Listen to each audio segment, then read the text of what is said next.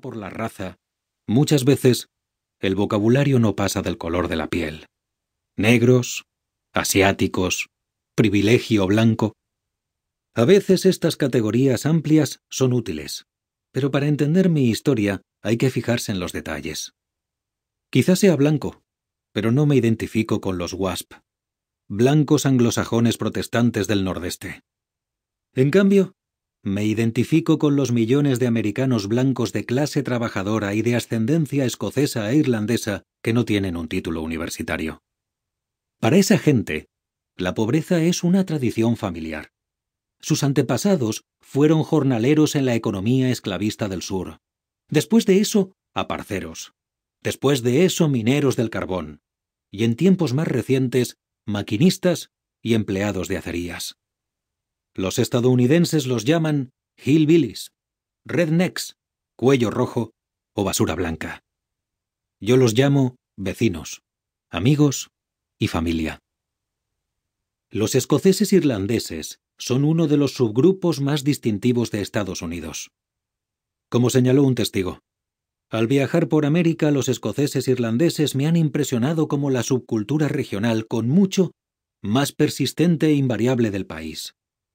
Sus estructuras familiares, su religión y sus ideas políticas y sus vidas sociales permanecen invariables si se comparan con el abandono general de la tradición que ha tenido lugar en casi todas partes.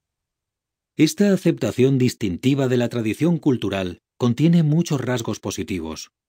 Un intenso sentido de la lealtad, una abnegada dedicación a la familia y al país, pero también muchos negativos. No nos gustan los de fuera o la gente que es distinta de nosotros, sea por su aspecto, por cómo actúa o lo que es más importante, por cómo habla. Para comprenderme debes comprender que soy un hillbilly escocés irlandés de corazón. Si la etnicidad es una cara de la moneda, la geografía es la otra. Cuando la primera oleada de inmigrantes escoceses irlandeses llegó al Nuevo Mundo en el siglo XVIII, sintió una profunda atracción por los montes Apalaches. Esta región es ciertamente inmensa. Va de Alabama a Georgia en el sur y de Ohio a partes de Nueva York en el norte. Pero la cultura de los grandes Apalaches está muy cohesionada. Mi familia, de los montes del este de Kentucky, se describe como Hillbilly, pero Hank Williams Jr., nacido en Luisiana y residente en Alabama, también se identifica como tal en su himno rural blanco A Country Boy Can Survive.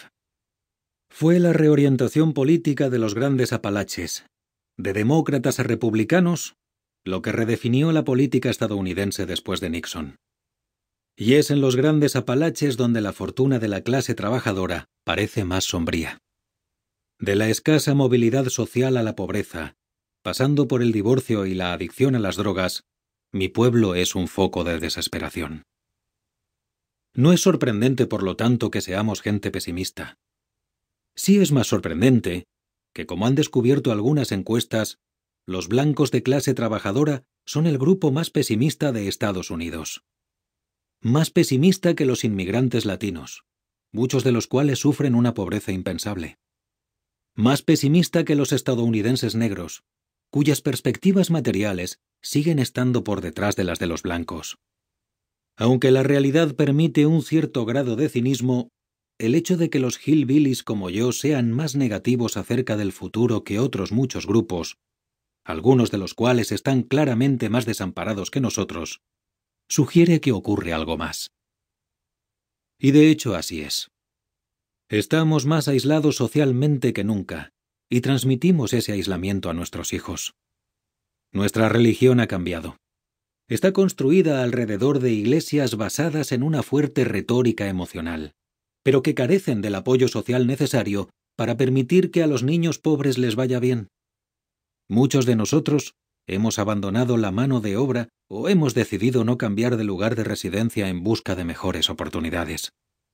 Nuestros hombres sufren una peculiar crisis de masculinidad, y algunos de los rasgos que nuestra cultura inculca hacen que les sea difícil tener éxito en un mundo cambiante. Cuando menciono la grave situación de mi comunidad, con frecuencia me encuentro con una explicación que dice algo así. Por supuesto que las perspectivas de los blancos de clase trabajadora han empeorado.